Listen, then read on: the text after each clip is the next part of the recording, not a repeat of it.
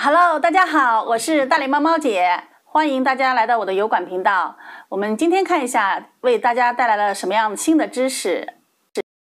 有调查显示，让消费者到商店取包裹和退货的方法，可以提高他们继续购物的几率。许多美国网络零售商是由传统零售领域转型而来，还保留了很多实体店，因此大力推行网上购买、实体店取货的策略。这样一来，顾客到店取货时，往往还会在店里买上一两件商品，进而促进了销量。一些没有实体店的新兴网络零售商也与传统零售店合作，以方便顾客，增加顾客粘性。越来越多的人愿意到店里取包裹，明年这个人数会继续增加。UPS 销售总监 Paul Againish 表示，很多零售商推出免费送到商店的快递模式，以提高商店客流量。这项调查发现，为了和亚马逊这类只做网络零售的企业竞争，零售商采用了一种多渠道的销售策略，利用实体店及其库存来完成网络订单的配送。比如，你在网上订了一件毛衣，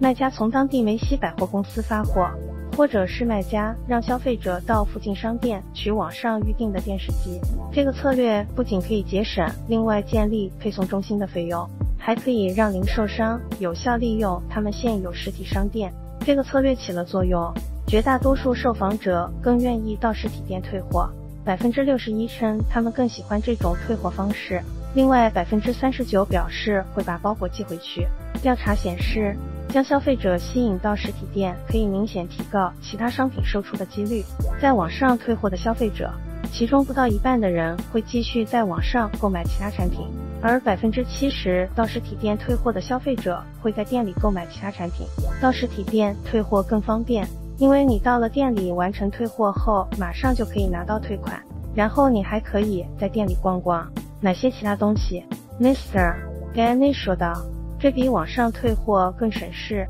而且消费者到店里退货后。”有很高几率，他们会利用刚拿到的退款购买其他产品。调查表明，百分之四十消费者有过一次跨境网购的经历，其中有一半是因为国外产品更便宜。如果美国没有这种品牌或者没卖这种产品，消费者也会上网在国外购买。免运费对于网购者来说仍然最重要。在网上购物结账时，百分之六十消费者会继续购买其他产品。使订单金额达到免运费的要求，去年这一比例为百分之五十八。社交网络对网购的影响越来越大，四分之一受访者称他们的购物决定受社交媒体影响，其中 Facebook 的影响力最大，百分之二十三的人表示他们是从这个网站上搜索产品信息，百分之十一消费者的购物决定受 Facebook 影响，挺趣志和 YouTube 影响了百分之八受访者的购物决定。